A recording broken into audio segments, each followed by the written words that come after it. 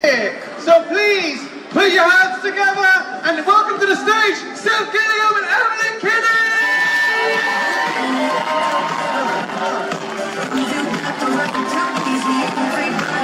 Let me grab another mic. I'll be right there. C'est le micro vert, s'il te plaît. Seth. Uh, bienvenue, welcome to the stage. I'm assuming, and it's fine if you can't, but I'm assuming you don't speak French. No. No, That's fine. sorry. I'll do a little bit of translating as we speak, so apologies if the rhythm is a little bit weird during conversation. Um, thank you for being here. I appreciate it. Um, I'm going to go straight into some weird questions. Okay. Uh, so, well, first question to you, Seth. Um, f- the father is going through quite a lot of complex challenges, right? There's a, I wrote it down better this morning, but essentially my, my, my point is, does the father feel punished by God for being in a world that feels so hellish, or does he feel as though God has given him that opportunity because it means that he is capable of handling such pressure? I would lean more towards the latter. I would think, as far as punishment goes, that uh, Father Gabriel punishes himself. And I don't believe he believes it's coming from God. I believe he feels he failed God, and so he punishes himself. And then God, believing in him, gives him another opportunity to make things right. Okay, so he, he feels as though he's, he's, he's punishing himself. Although, what kind of sins has Father Gabriel committed? Well, the biggest sin was not uh, letting in his uh, using his church as a safe space during uh, the fall of the society, when he locked out all of his his congregation, um, his flock, as it were. I think that is something that it takes him years to forgive himself for. If I'm correct, you are yourself an ordained minister. Yes, of course. No, I'm not an ordained. Are you not? No. No. The, the I'm internet. like, dude, I'm like, I'm a black guy from New York. You know what I mean? So I did a little bit of research, j'ai fait un petit peu de recherche sur l'internet et on m'a dit qu'il était aussi un, un un prêtre, un curé. Euh, apparemment il l'est pas. Euh, my apologies. I, just pretend. The, the, it's, the show is just pretend. It's Oh, made up. acting! Yes, yes, yes. Oh, it's acting!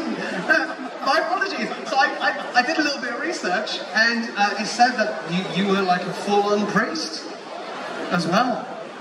Yeah. No. So you don't go for method. You're not method. I don't know. I, I, I studied the methods. I don't apply it uh, in my professional life. Well, that's good to know because I have seen The Wire and. uh, Beth, moving on to apologies for that, but it's the internet. I'm uh, misinformation everywhere. Beth, hello. Um, no, it's not Beth. Beth is your character. Come on. That's right. Oh, my mind. Um, Beth is quite a shy character, but, but grows into her own. And I was wondering, how do you think Beth would be if she became the leader of the group? How would she evolve into that, that role? Oh my gosh, if Beth was the leader, I think that'd be awesome. Yeah, I mean, I could see how if she had survived and needed to continue to survive in the world, that she would have continued to, um, you know, figure out what she needed to do to survive and grown stronger. And I think she had a lot of people like her sister and uh, Daryl and Rick and everyone like on her side. So um, yeah, I don't know. How does playing uh, a show that confronts you with human nature at its best and at its worst influence the way you perceive your own reality and your interactions with people? La question en fait c'est le fait que dans le show il y a tellement de, mal et du bien, comment est-ce qu'ils ils essayent de vivre euh, cette réalité dans notre réalité en fait? Comment est-ce que on peut être confronté à ça et pas changer psychologiquement? Like how does it not change you psychologically?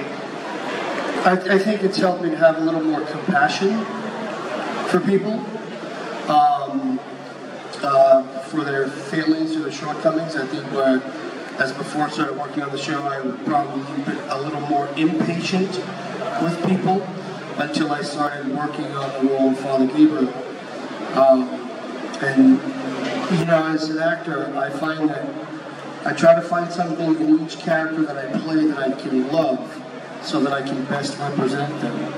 Regardless of what the audience is seeing, you have to love something about your character.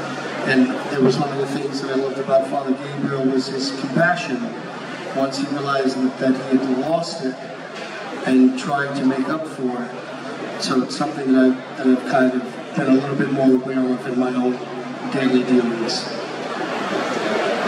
I think something about um, working on a show that's about the end of the world and then looking at, you know, I, I get into some of the news and the TikTok, um, what is it called? And you just keep scrolling, doom scrolling and things like that. I think like looking around the the world and sort of um, looking at structures that we have in place and um, that they could collapse at any moment.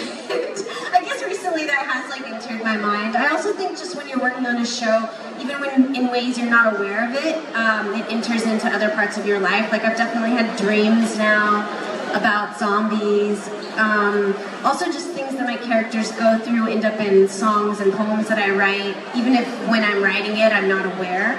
Um, so yeah, I think um, I think it definitely follows out with me into the world in some way, for sure. Il y a des questions du public? Are there any questions in the public? Yes, sir. En français, s'il vous plaît, hein, je traduis. Can I, can I do it in English? That would be actually great. We, have a question about the relations of Beth and Daryl. Actually, my wife and I are like in disagreement about. I I was thinking it was going to like a romantic relationship,